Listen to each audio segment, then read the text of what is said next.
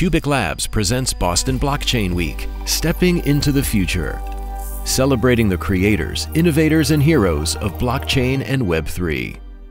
I'm Mike Joshua from MuddHouse Media, reporting from Boston Blockchain Week 2022, presented by QUBIC Labs. With me now is Gabby Kusz. Gabby, welcome. Thank you. I'm really excited to be here. Tell us a little bit about your background and what brings you here to Boston Blockchain Weekend. I am currently serving as the CEO of the Global Digital Asset and Cryptocurrency Association.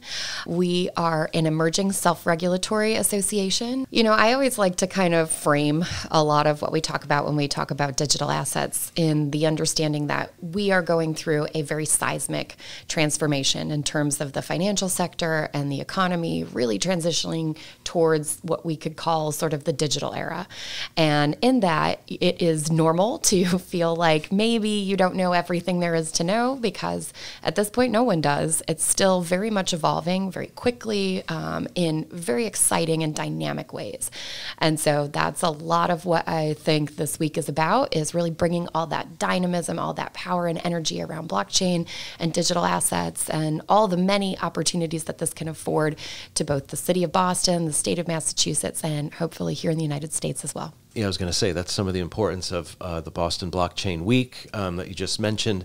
And truly, it's getting people together, right? We're, we're so used to being on screens and having these meetings, but talk us a little bit about getting all these like minded people under one tent. Sure. We were very pleased and happy to announce, you know, on air today the signing of a memorandum of understanding between our organization, the Global Digital Asset and Cryptocurrency Association, and QUBIC Labs. And really, some of what we're doing is really trying to bring together key stakeholders who can see blockchain technology from a multiplicity of different perspectives and can share how they are viewing so that we as a, you know, dynamic group of people and professionals can get a holistic view of where things are going. What are the emerging trends? Um, what are the key issues and challenges that we maybe need to be resolving in order to lay out sort of this next wave of innovation? And then how can, you know, businesses here in the Boston area, here in the state of Massachusetts, how can they, you know, buoy off of this to catapult into job creation, economic growth, and really social and other opportunities for the citizens of the state and city? It just seems like there's so much happening in this space and and the future is is is wide open. What uh, what are you most excited about this weekend at Boston Blockchain Sure. Um, well, I could say I'm excited for my panel, personal plug. Um, um, but I actually think I'm really most excited about seeing maybe some things that are even outside of my industry. You know, I was so lucky to meet with some amazing people from the healthcare industry who were talking about, you know, putting uh, digital records um, on blockchain, being able to access that easily, but with regards to privacy concerns and being able to really sort of leverage that to create sort of a medical future for us all that maybe works better and helps solve some of what we see when we're patients, when we're in pain, when we're suffering. And so I think that, you know, what are the things I'm most excited about are the ways in which this will touch every facet of society and really hopefully transform things for the better.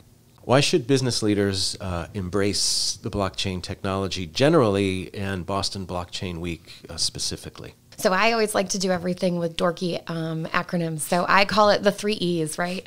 it is expedient, it is efficient, it is effective. So if you are watching a bottom line, if you are looking to enhance customer and client satisfaction, if you are looking to invest in next wave technologies that puts your business at the forefront of innovation, then you need to be looking at blockchain technology. And so, you know, it's those three E's that I kind of carry forward in a lot of the conversations I have, even in the finance um, and financial sector. But you know, those three E's carry forward into just about every industry, and the breadth of you know touch points that blockchain technology is going to have you know the sooner you start to ex- expose yourself educate yourself and to bring some of this home into your business lines the better it will be for you and for your business overall finally how do listeners get in touch with you for more for more information? So we are conveniently found at our website, um, global-dca.org, and there is a form. Contact us, learn more about membership, sign up for our public policy